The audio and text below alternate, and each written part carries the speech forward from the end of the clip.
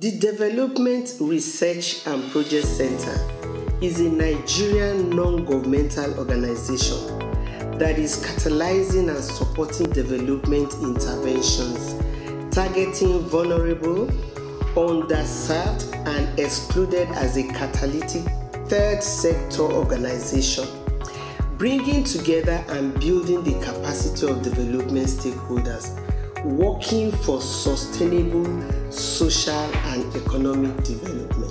DRPC has trained civil society organizations on advocacy strategies. Working with the DRPC over the years has been very impactful to the Medical Women's Association of Nigeria, Kano.